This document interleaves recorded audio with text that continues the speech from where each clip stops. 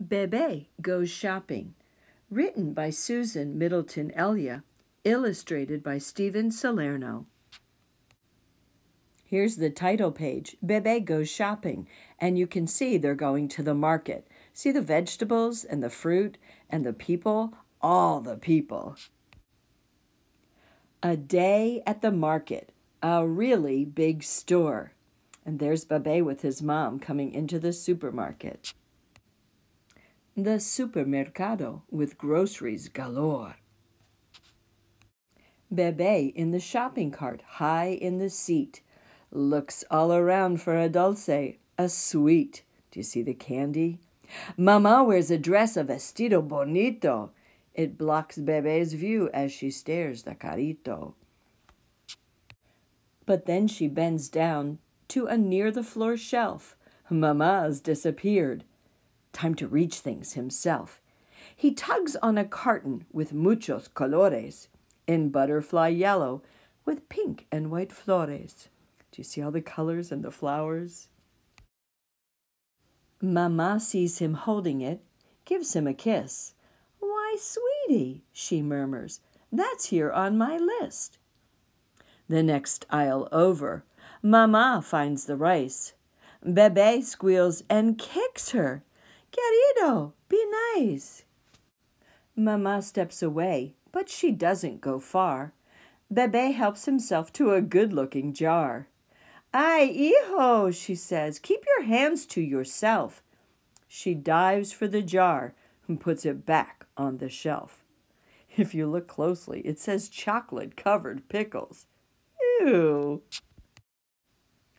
Bebe picks out corn as Mama chooses peas.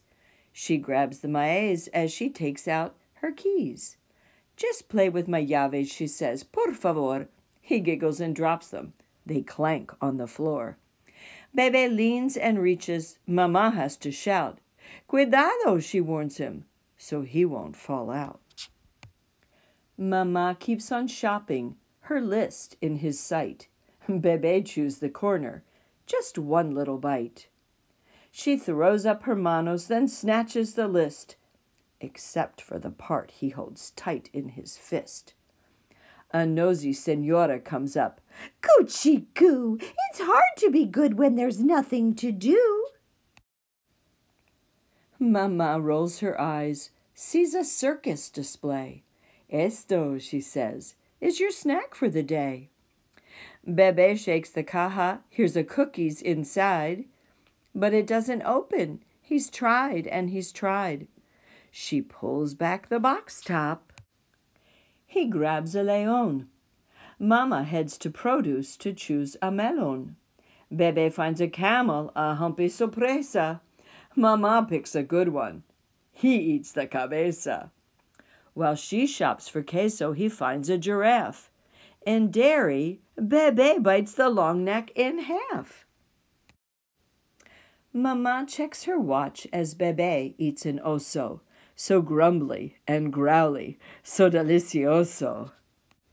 They empty the cart for the cheery cajero, who rings up their items and takes the dinero. The manager gives out balloons. They are free. Uno for your baby, Mama answers, Si.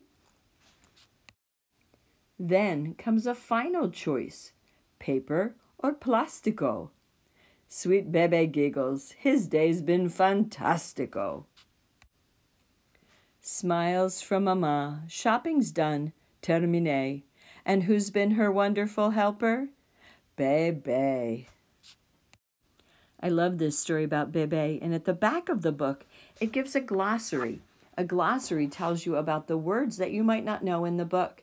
And for me, I don't speak Spanish very well at all. So it helped me to know how to say the Spanish words, and it also helped me to know what the Spanish words mean. I hope you like this story. You could be thinking of writing your own grocery list, maybe drawing pictures of the foods you would like to buy when you go to the supermarket. I'd love to hear your thoughts on what's a great thing to buy at the supermarket.